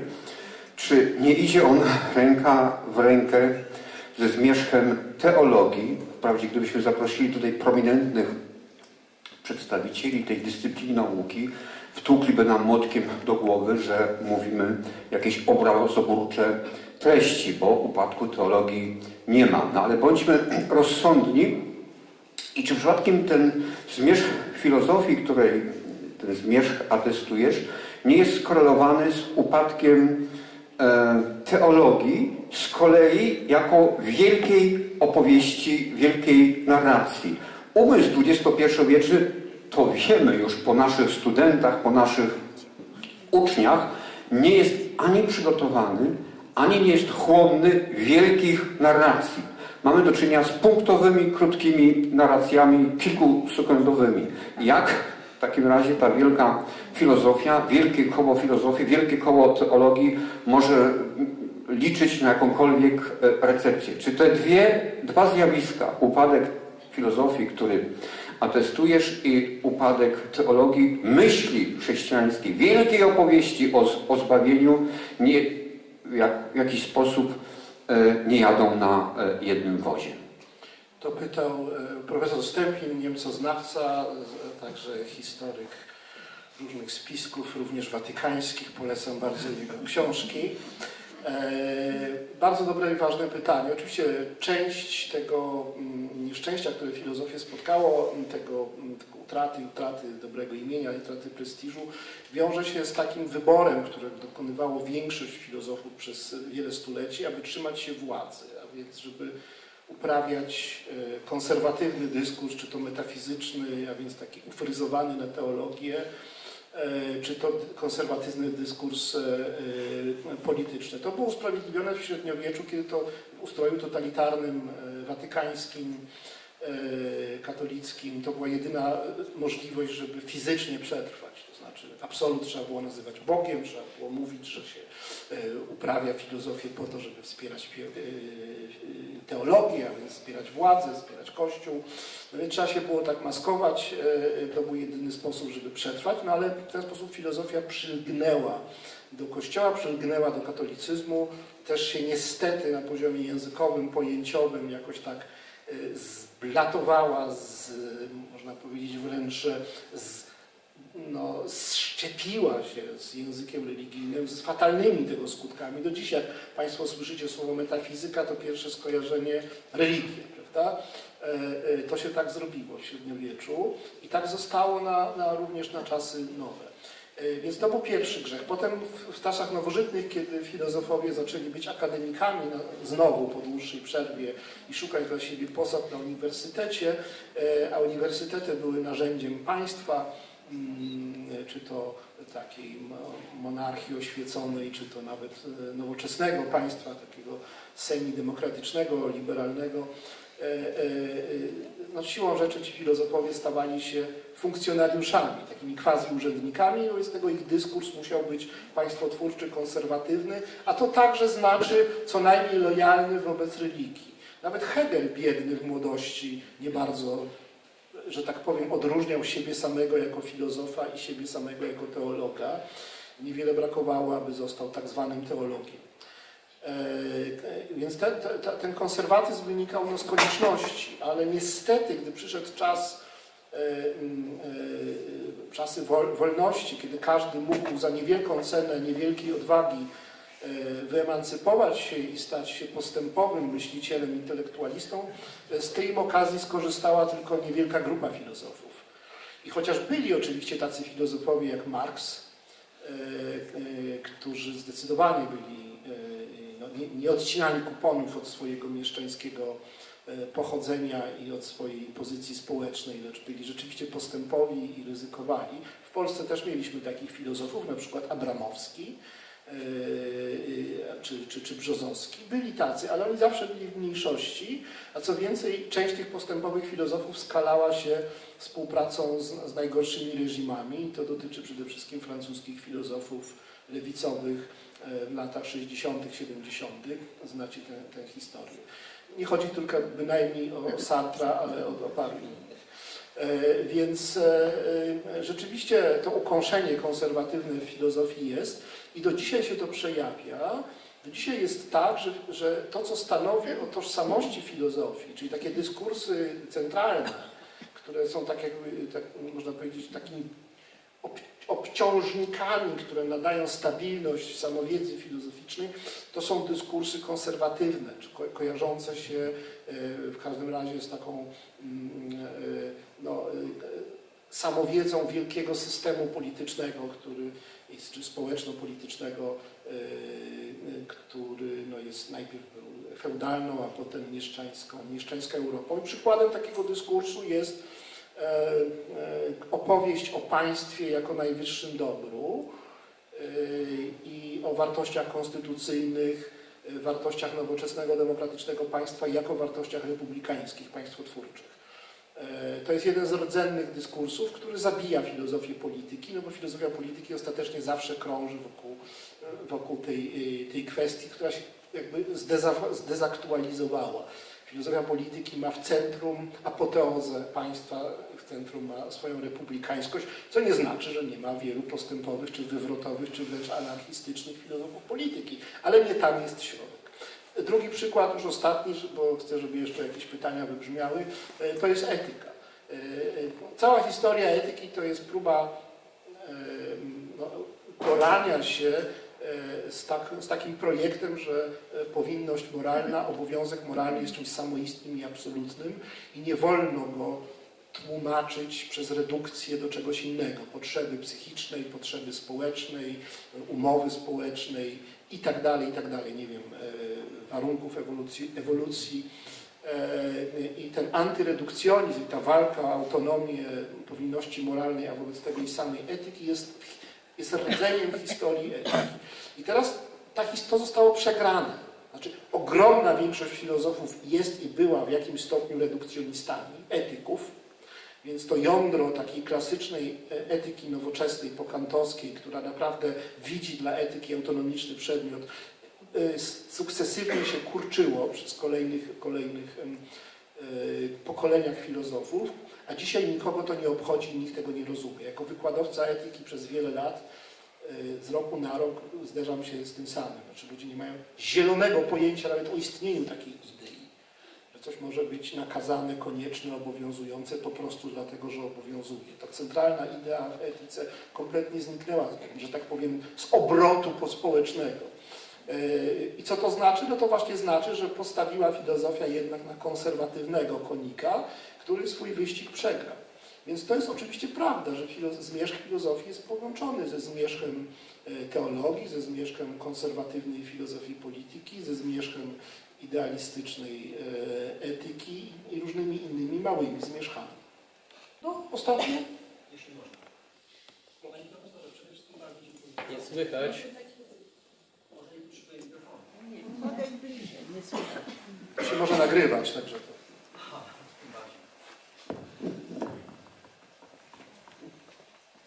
E, Przede wszystkim chciałem podziękować za ten wykład, panie profesorze. On był dla mnie bardzo inspirujący e, i e, cenię tą jasność i jaskrawość myśli. Cieszę się, że przyszedłem po prostu na ten wykład. Ale przyznam, że nie mogę postawić konkretnego pytania, bo ja naprawdę ten wykład wzbudził moje emocje i potrzebuję czasu, żeby z dystansem i na chłodno je przemyśleć i być może wtedy pojawią się e, konkretne pytania. Natomiast chciałbym zapytać bardzo ogólnie. Y, Czy z punktu widzenia pana profesora ważniejsze w filozofii jest stawianie pytań, czy udzielanie odpowiedzi? Właściwie wszystko. Zwykle, żeby postawić dobre pytania, to trzeba e, parę zdań twierdzących wokół tego e, wypowiedzieć. Rzadko komu się udaje tak od razu fajne pytanie postawić. E, Pytania są fetyszem w filozofii i krótkie odpowiedzi też są fetyszem, bo ludzie lubią krótkie pytania i krótkie odpowiedzi.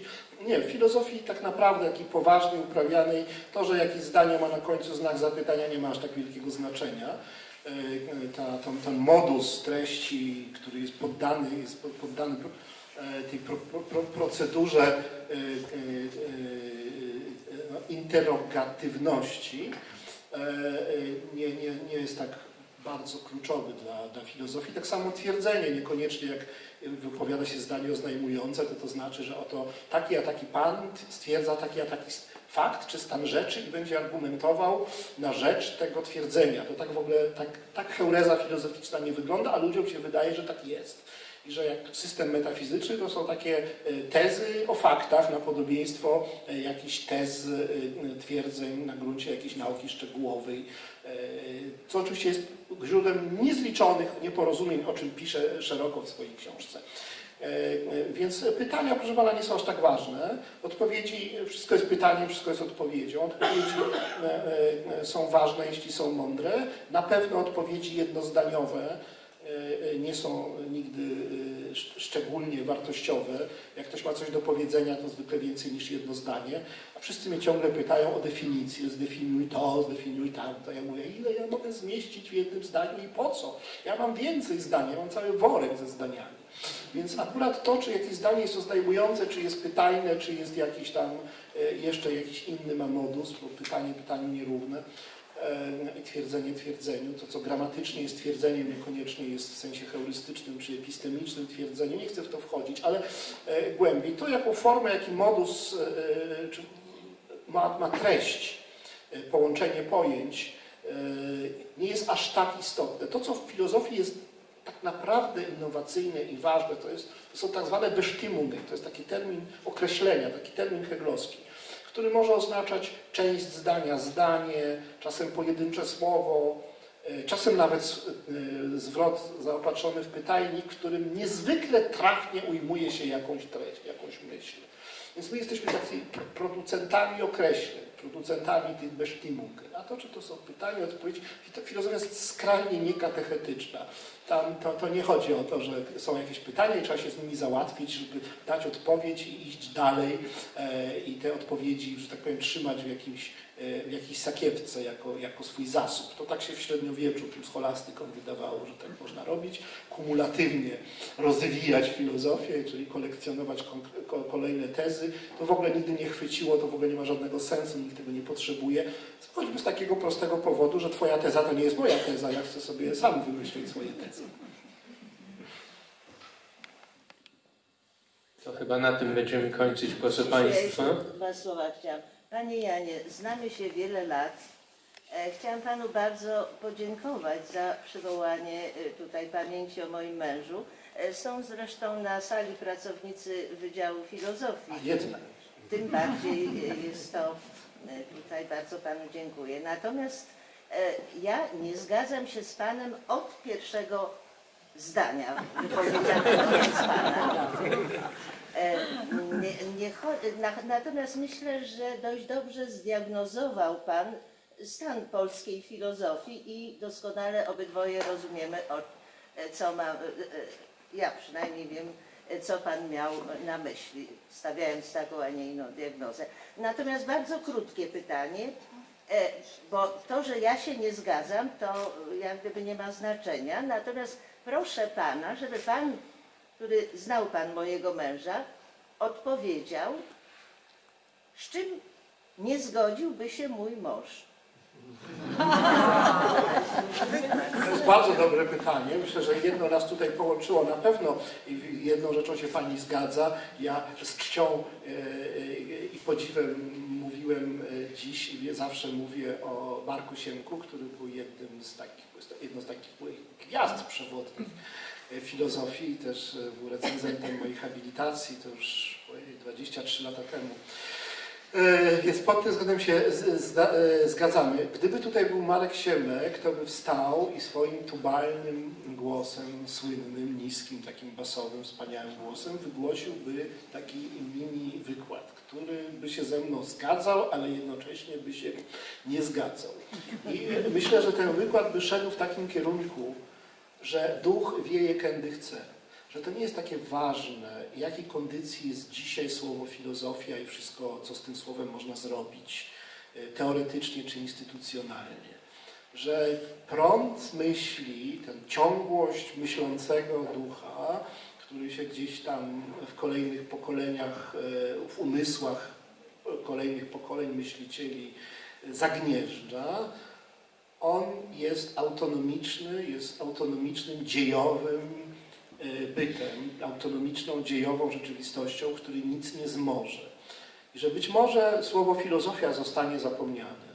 Być może filozofia rozmieni się na drobne to, co pod tym szyldem e, jest uprawiane, straci społeczne znaczenie, ale zawsze będzie istnieć w swej esencji pod dowolną nazwą.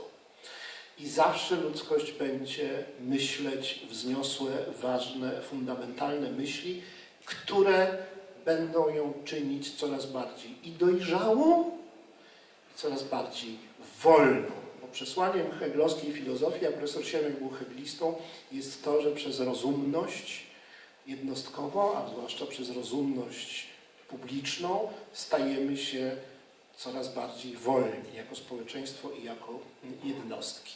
I ja się tutaj bym z profesorem Sienkiem zgodził.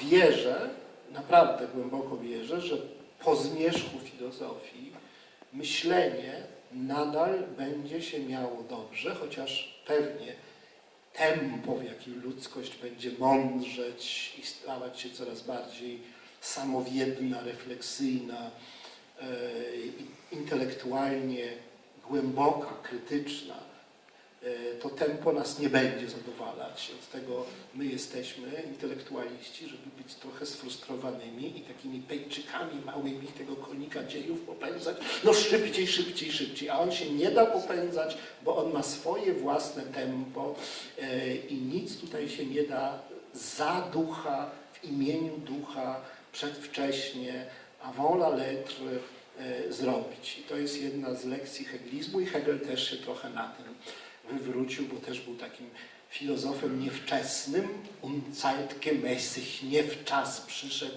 trochę za wcześnie, jego współcześni nie mogli do końca pojąć jego myśli, ale przyszedł na niego czas.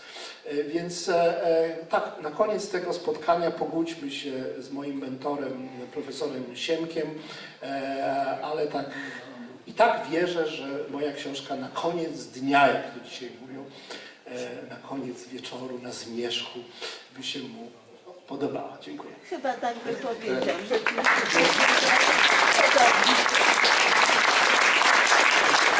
Dziękuję profesorowi Hartmanowi za wspaniały wykład. Tobie, Włodku, za przeczytanie i okraszenie tego wykładu, a Państwu za Waszą szlachetną obecność. Jeśli ktoś ma ochotę na podpisanie książki, to jest właśnie ten czas. Bardzo dziękuję i oczywiście czekam, jeśli ktoś chce, podpis sztuki dedykacji. Bardzo proszę. I książka jest do nabycia tutaj w księgarni po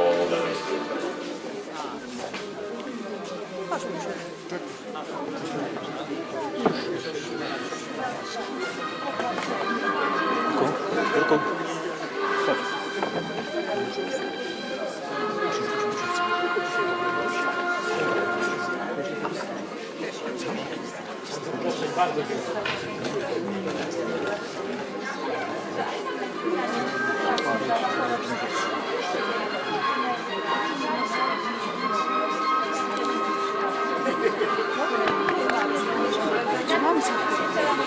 Pani na imię?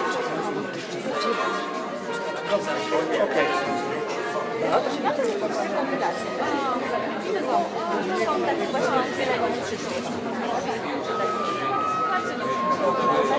przemyślane. Proszę sobie przeczytać po prostu zbiór rekomendacji Unii Europejskiej dotyczących e, zarządzania sztuczną inteligencją. Taka książka. Wszystko jest przemyślane. Tam filozofowie też pisali tego brali. Tak, znajdzie Pani to, to. Proszę bardzo.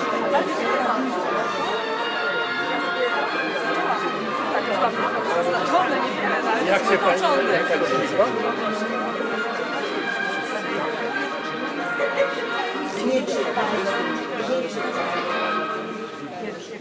Dzięki temu.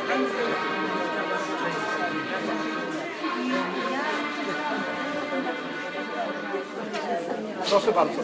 Brzydkie te podpisy, bo ja na stojąco. Na stojąco. No usiądźcie. Dobra, usiądę na kolanie. Będzie na kolanie. Albo tu na stoliku.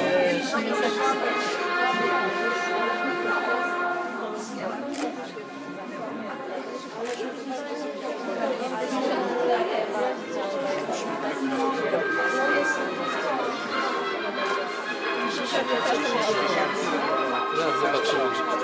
Tak, pójdzie, Litka pójdzie z nami. Dobra, dobra, świetnie, świetnie. Tutaj pójdziemy. Oczywiście. Ale to ładnie. Tak, no oczywiście. Świetnie. No to ładnie. Prawda?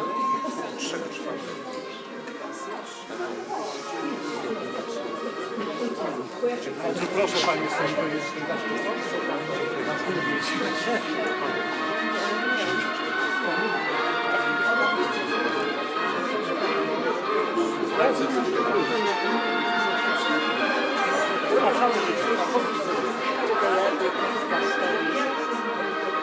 Thank you.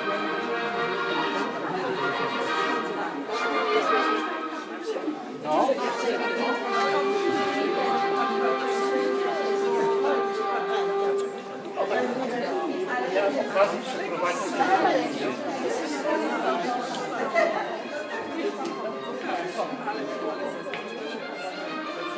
Przepraszam, że tak na was grałem, mam nadzieję, że się dało czytać.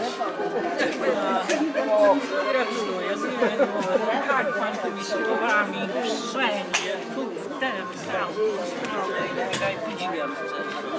Kocham słowo i tak dalej.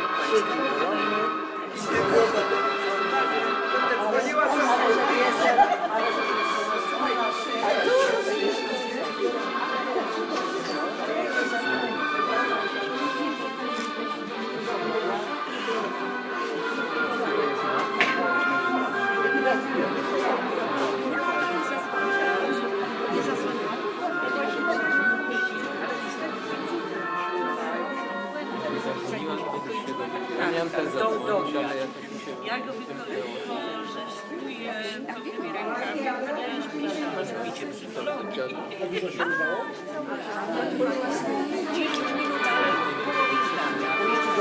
To gramy we wtorek, nie?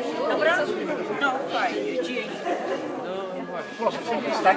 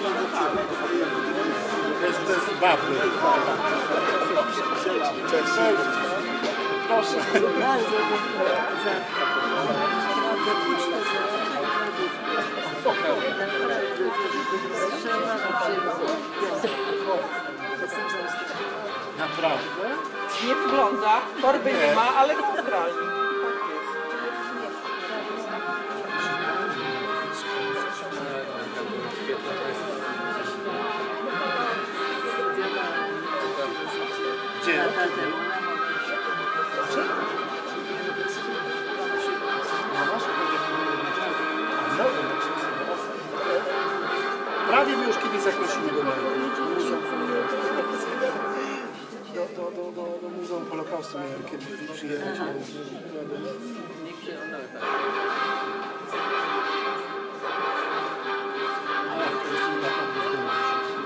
Moja książka pojedzie do Australii. No to ja jestem dumna, że Do samej Australii. od Jeszcze pana można się dostać autograf. I naprawdę pojedzie do Australii?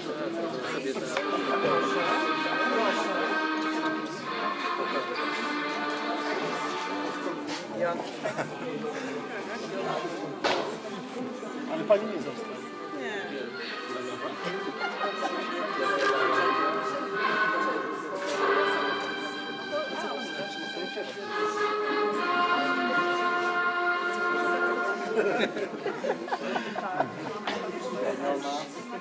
To jest niedawno.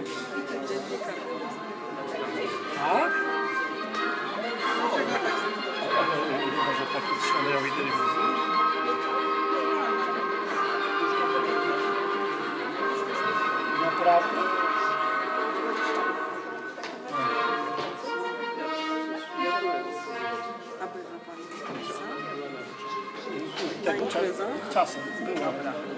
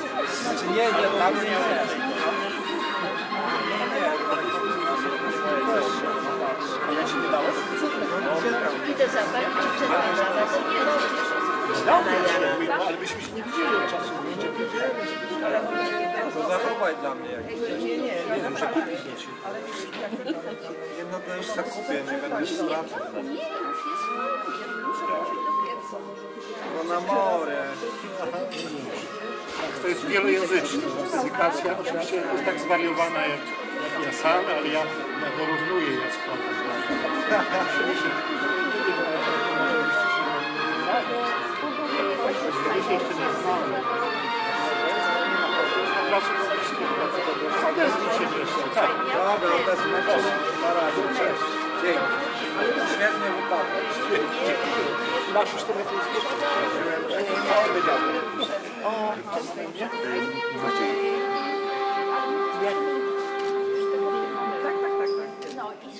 No Renata. Ja miałem sen właśnie od 15 lat. Z jednego na drugi, z jednego na drugi. Przyjaciele, dwa tygodnie gotówce ten zakwas. Jak pan profesor spojrzy, siadaj, jak pan profesor spojrzy, to y, my też napiszemy y, przepięknie na Facebooku. Zresztą y, y, nie po to przyszliśmy, żeby y, ciasto, podkładam do pudełeczka, do, ciasta. Prostu stoi w papierze. Kiedyś ktoś dał znajomy znajomy. Tylko teraz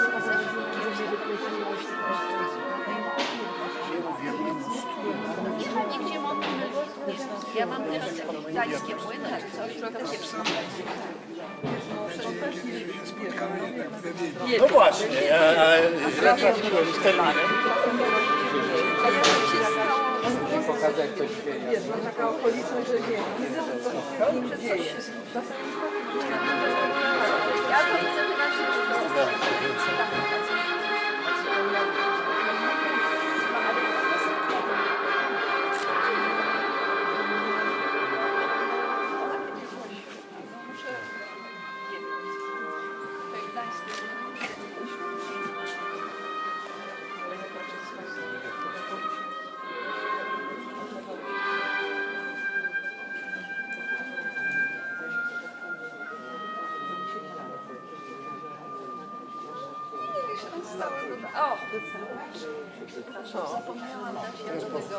Ci podziękuję za zaproszenie do prowadzenia wykładu.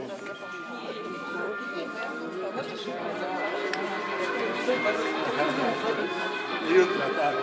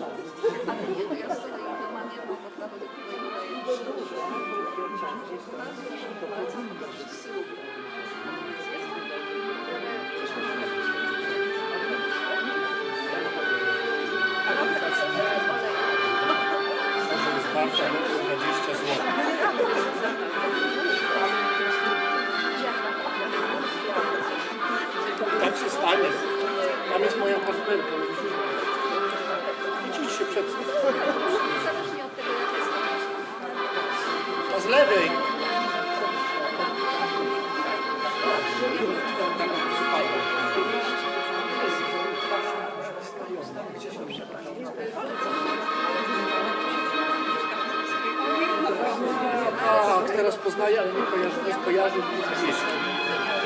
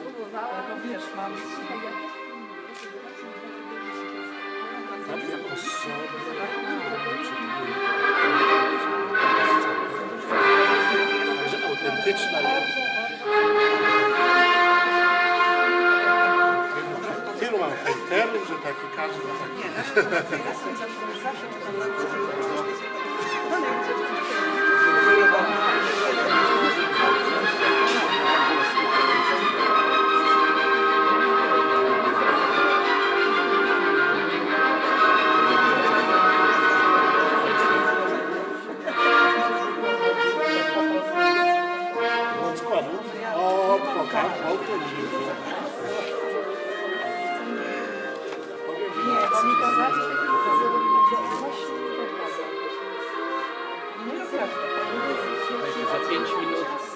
Ну, я же я должен. Не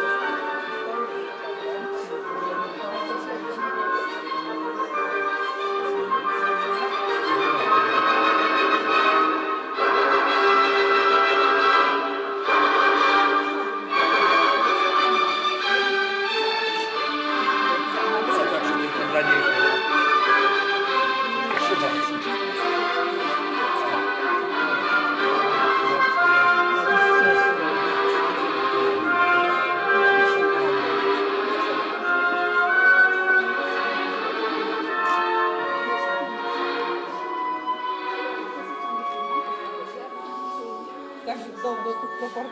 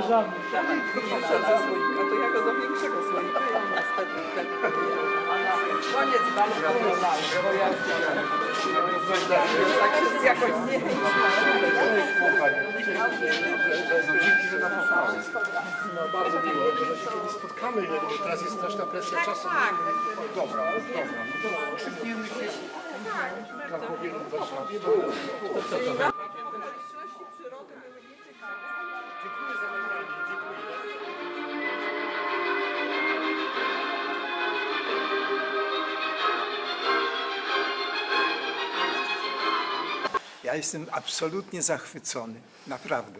Państwo, prawda, też. Jesteśmy szczęśliwi wszyscy razem.